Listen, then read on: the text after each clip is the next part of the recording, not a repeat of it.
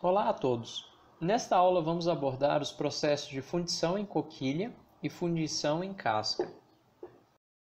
No processo de fundição em coquilha, o metal líquido é derramado em um molde permanente pela ação da gravidade.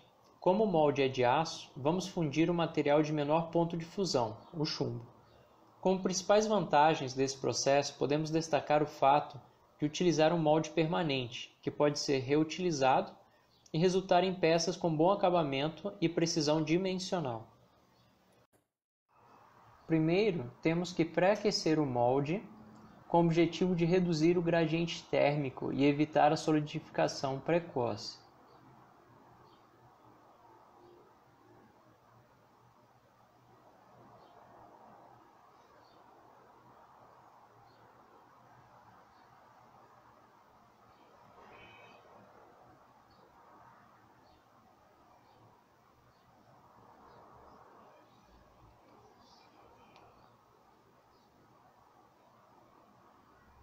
Depois inserimos os machos.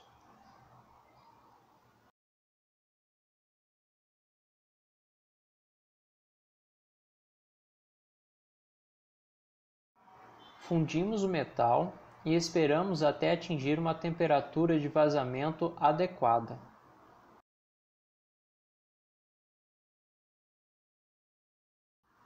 Por fim, vazamos o metal no molde.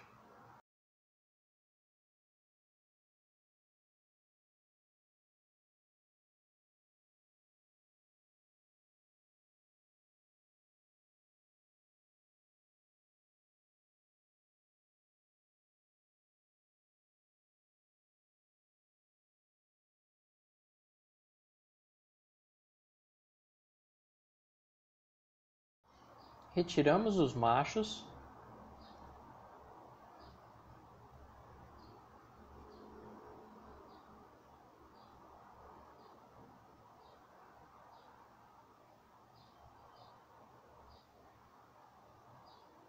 e abrimos o molde.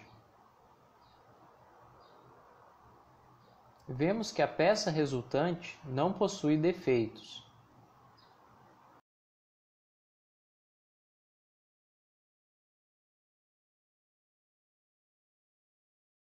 Foi possível realizar o furo, pois utilizamos um macho, conforme mostrado nesta figura.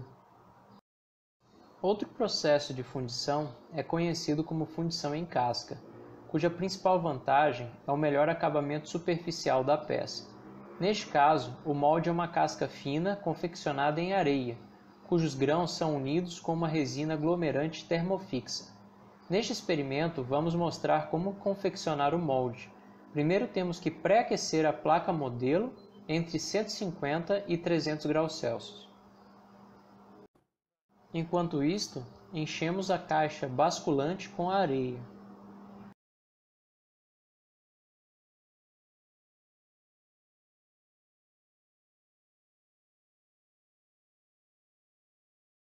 A placa modelo é levada à caixa basculante mantida na sua posição normal, contendo areia de fundição misturada à resina.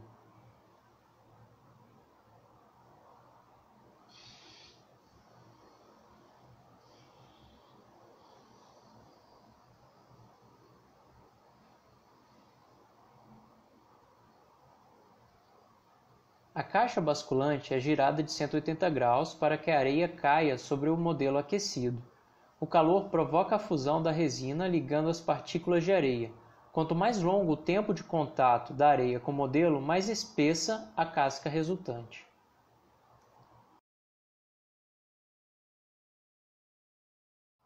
A caixa basculante é levada à sua posição normal, deixando cair o excesso de areia.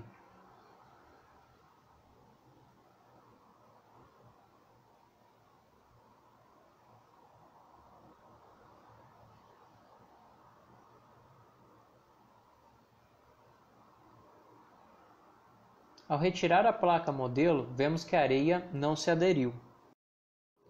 Isto provavelmente ocorreu devido à temperatura ser abaixo da recomendada. Repetimos o procedimento após pré-aquecer a placa modelo até a temperatura recomendada.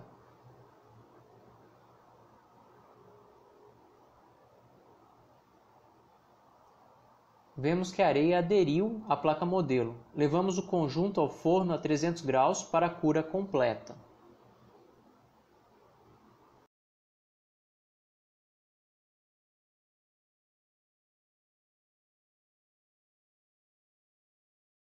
Por fim, removemos a casca molde da placa modelo e a casca então está pronta para ser utilizada. Se a temperatura for excessiva, a casca adquire uma coloração mais escura.